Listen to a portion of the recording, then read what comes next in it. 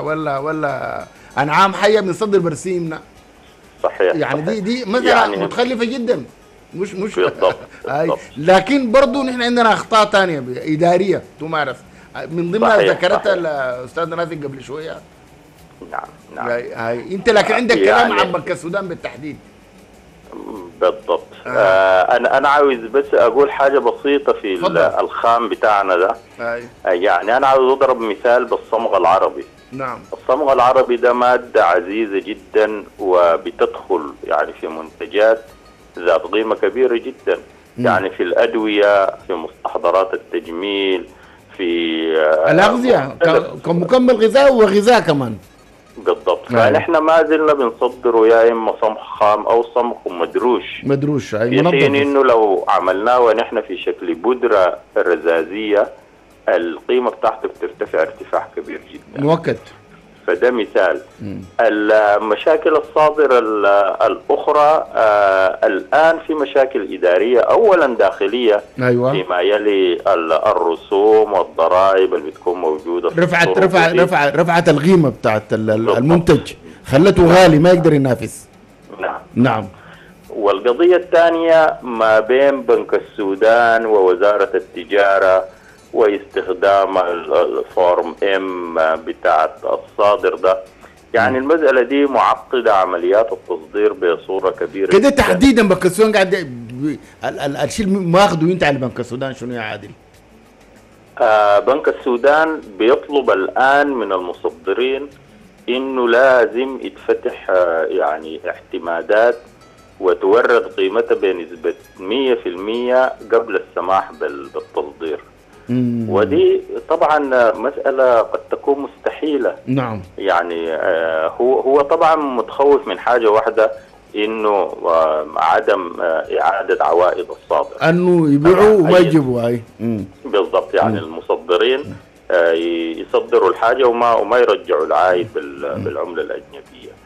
لكن دي ممكن تشكل عقبة كبيرة جدا إذا نحن كنا بنطلب خطابات اعتماد يعني يعني آه، يعني بنك السودان بيقول أول حاجة تتخطى القروش.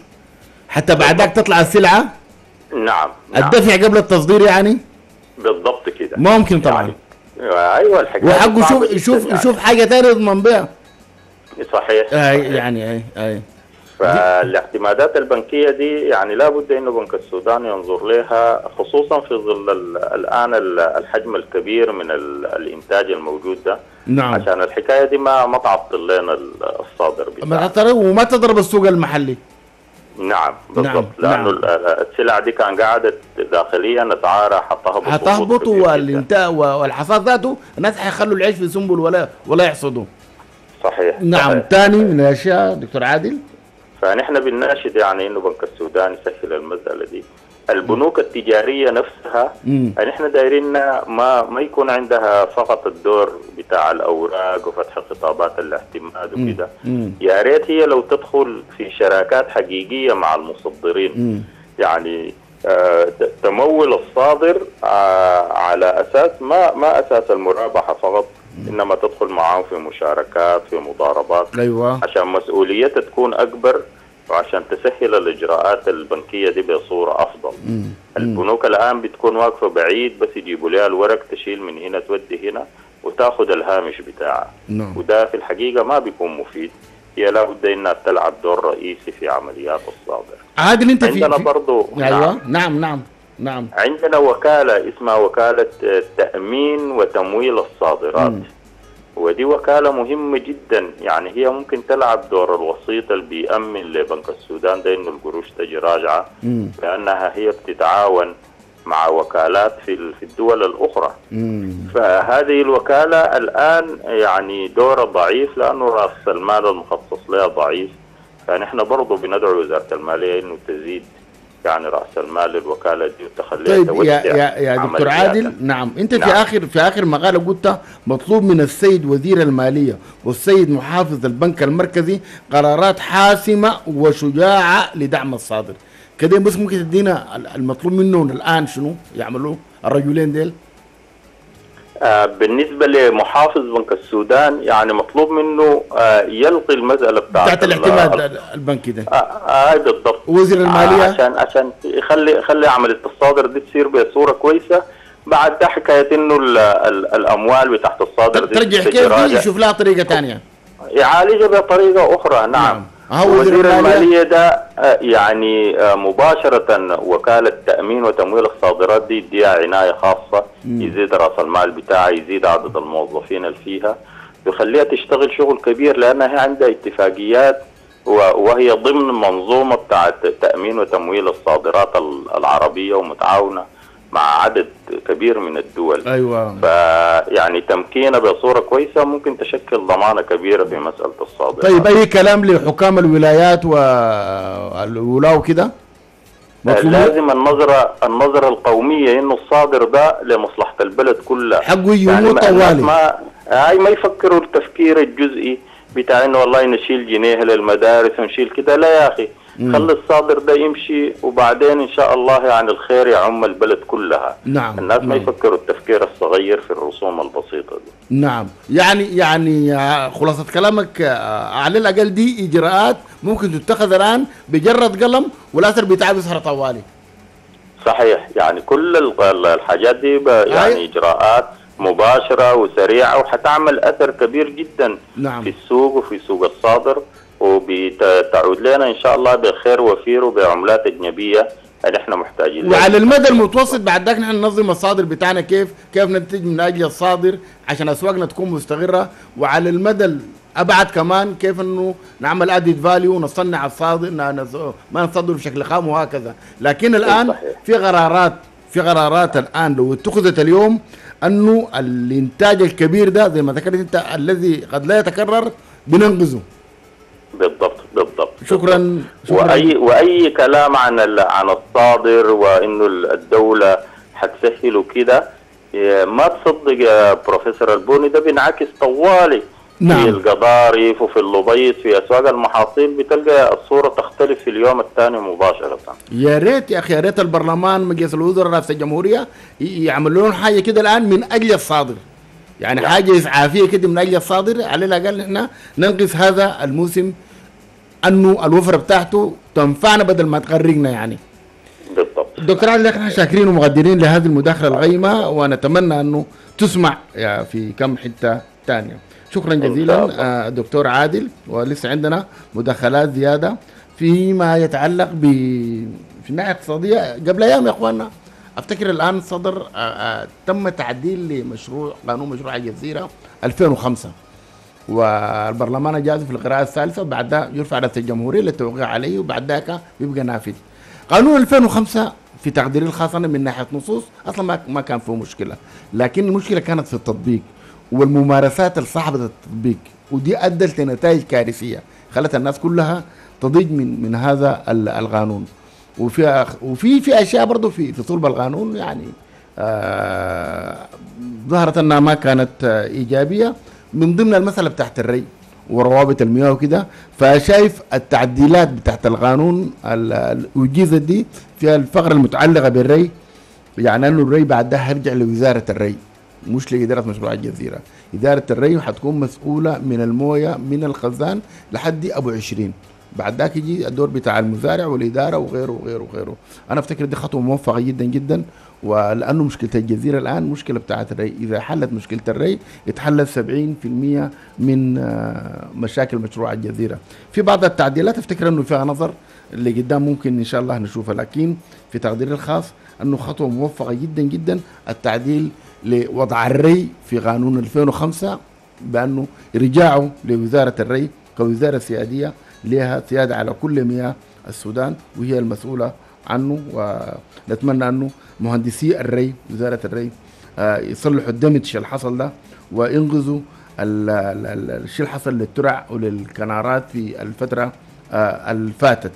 آه، نطلع شوية كده من موضوع الاقتصاد و حيكون معانا الآن على الخط الأستاذ ضياء الدين بلال رئيس تحرير صحيفة السوداني. أستاذ ضياء السلام عليكم. بك يا بروف كيف حالك؟ أسعد الله صباح صباحك. يا أخي.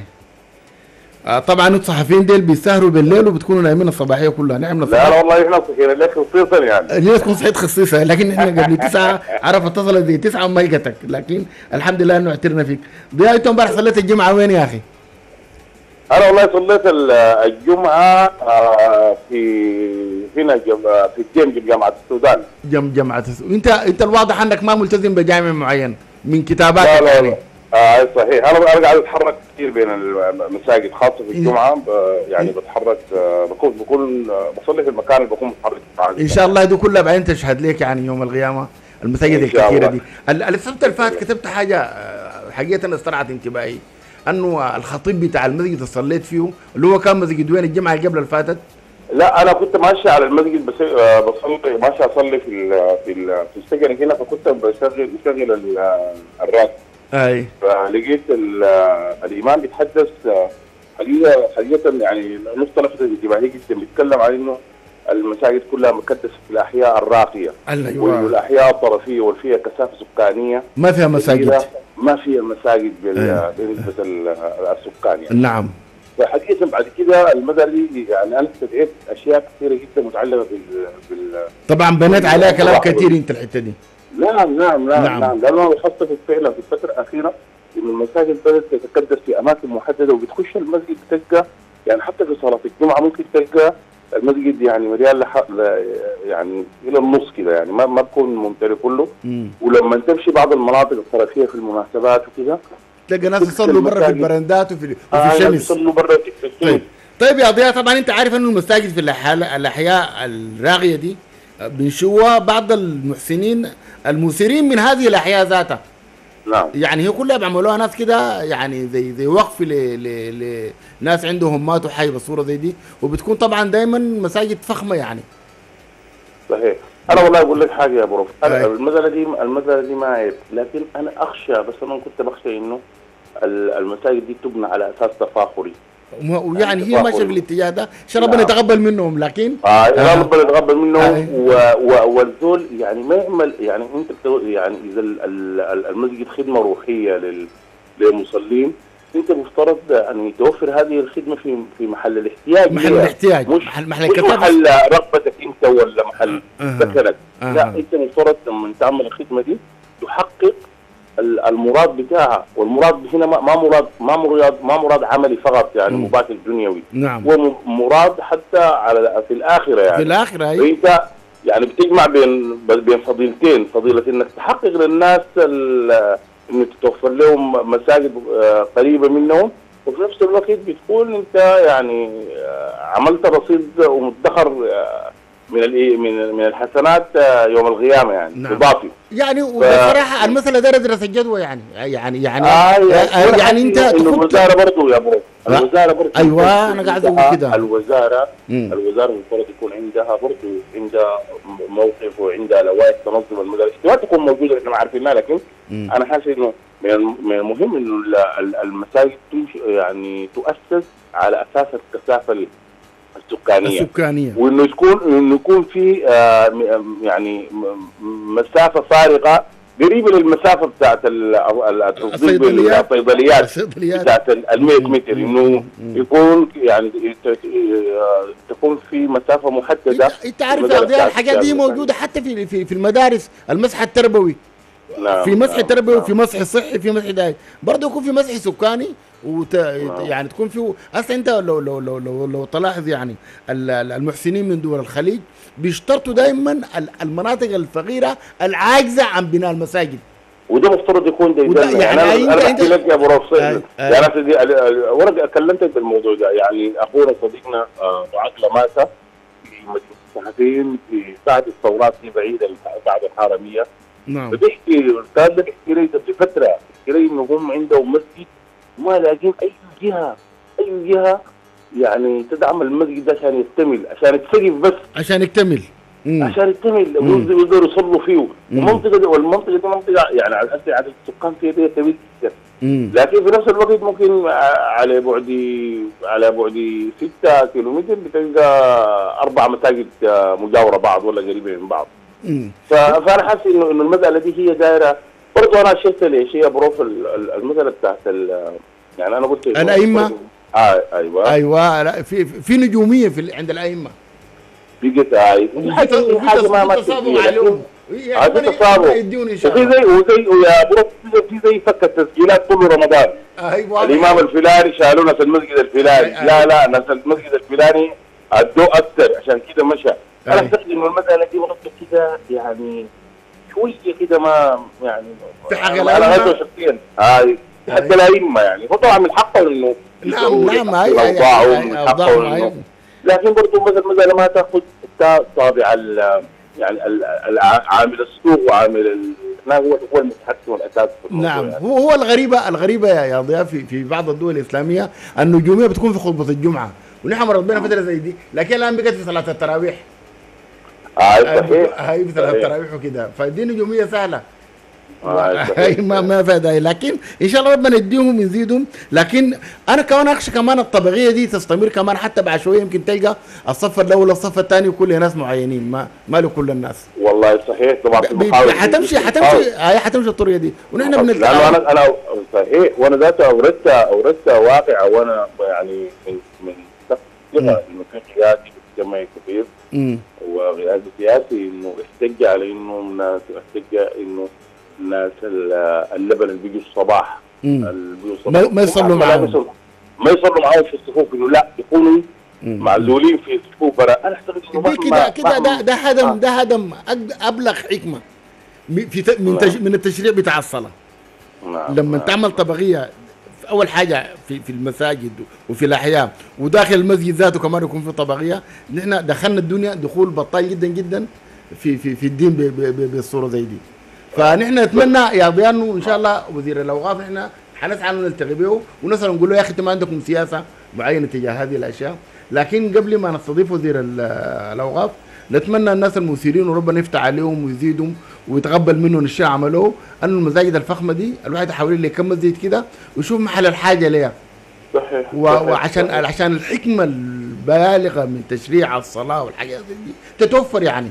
الناس دي بعد والله ما تلقى المساجد دي ما حتلاقي في أي حتة ثانية أي والله. ها لا في اسد بتجمعون ولا في بتاع ولا في مولات عادة بتجمعون. بتجمع الناس وحلقات القرآن بتجمع القرآن زمان. بتجمع يعني الناس ويتفقوا. هناك في المنازل. نعم. في مسجد بكوي يعني العامل وال- والطالب الطالب الطالب اللي بيكون في المتوسطة ولا كده يتعلم القرآن مع مشايخ ومع مهندسين لا و- و- وفي نفس الوقت يكونوا العمال وال وال نحن هناك في المزاد يعني العمال والموظفين والناس المحدودين وب- وابن السبيل ذاته ذول مقطعبوه وحيصلوا يقرا له. له نعم نعم. فكده في المساجد كل ما كانت منفتحه ومديره لل- للحواجز وللفواصل الوهميه أصلا. بتكون حققت الغاية حققت الغاية من التشريع. الغايه حققت أي- الغاية. أي- هو طبعا أقول لك حاجة للاسف الشديد يا أي. الخطاب الاجتماعي ضعيف جدا حتى في كل الحركات الإسلامية الموجودة الآن. نعم.